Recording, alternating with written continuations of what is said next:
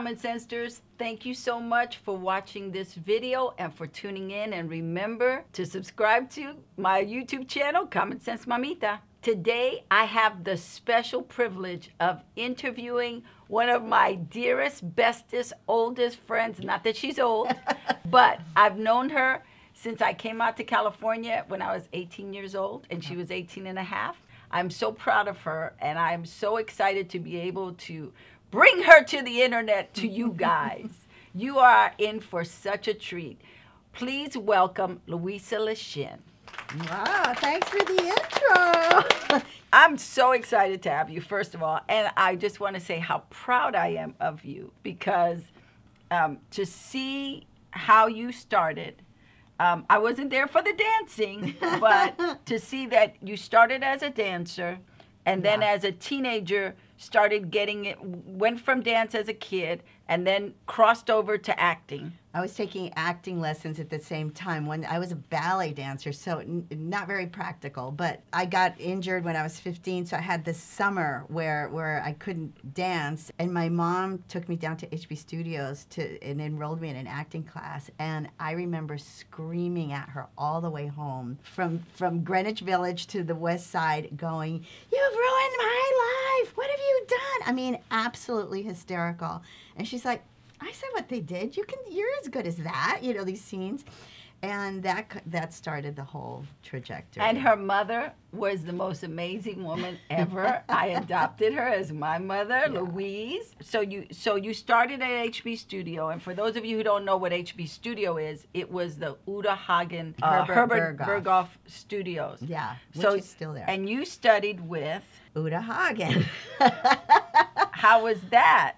It was pretty amazing. I, I was actually one of her youngest students. She, you couldn't get in unless you were 18, and I was like 17 and a half. And uh, it was it was crazy to just even get in. You had to sign up. You had to you had to get up at four in the morning. The line was all the way around the block. It was terrifying, you know, because she'd she'd look at you and she's like well, you know you're overacting. You know you're indicating. You know, and and and I'm like, "Eh," you know, but somehow uh, I did get in, and I studied with her for three years, and it was just amazing. It was amazing. Yeah. You also went to the High School of Performing Yes. Arts. So she's just been set up for success. So you were at the High School of Performing Arts, and who was in your class? Freddie Prinze. Freddie Prinze, yeah. I was in, in the ballet department. He was in, in the drama department, and he falls in love with Arlene Guisante.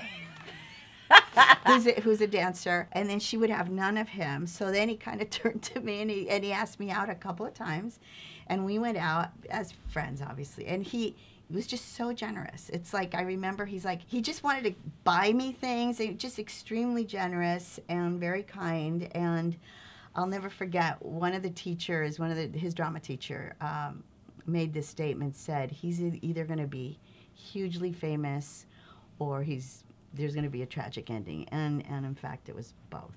Mm. You know, so it was predictable even then. But um, Wow. yeah.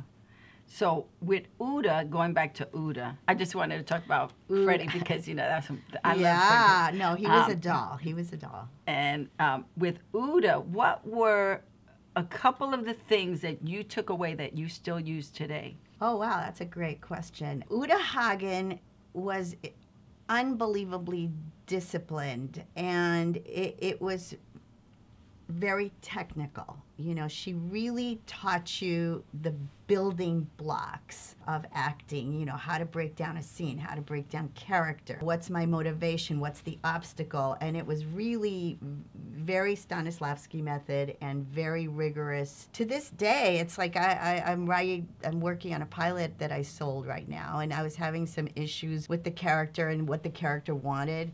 And I went, duh, you know, so I went back to the who am I, which actors are taught to do, you know, and then I did a whole background uh, story for my character and, and, and, and, and so went back to that. So I'm still using it. And then what I found when I came out here, I studied with Ken McMillan I remember. he was a great addition because what he did, his whole philosophy was forget all the technique and just be in the moment and feel and just kind of throw it away in that sense and, and just be in that moment. So it was a great uh, next step And and for those of you who don't know Uta Hagen, her book, Respect for Acting, was a book that was used everywhere for Yeah. actors. That was the first book that I had. I don't know about you, but that was the first Yeah. acting book that I worked off of. And it's still, you can still pick it up today and get so much value from, Yeah, from it. definitely. I love her. And just the great teachers that were spawned off from her Howard Fine,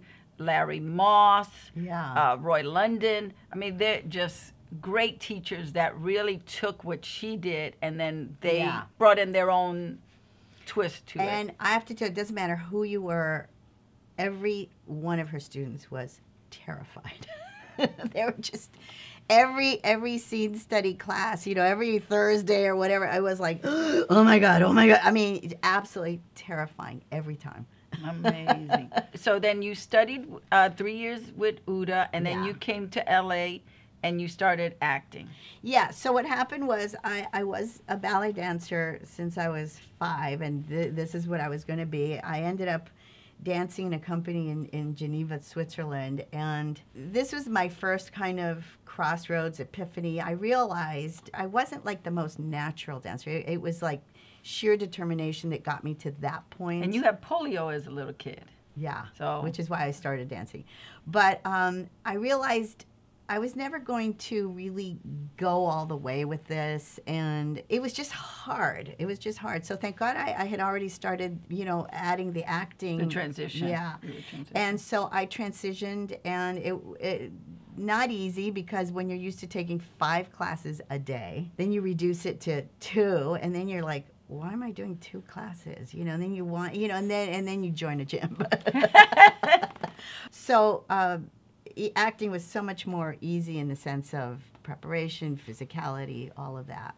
And I came out here to to launch, you know, a, a stronger acting career because in New York I actually started doing Spanish language commercials, and I go so far back. I mean, I do feel that that I've spanned the Latino trajectory in this business because in the 70s. Um, I would go into agencies and I had kind of long hair and I looked the way I did and they're like, oh God, no, you're way too ethnic. Trust me, you're never going to do a commercial ever. And it was, I'd literally get asked to leave the offices and just kicked out. And then started doing some Spanish language commercials and it was just starting I want to stop up. one Yeah. second because even though they said no to you, that it wasn't going to happen, you turned that around. Yes, I mean you you have to. You just yeah, you have to, you know, get mad, get even.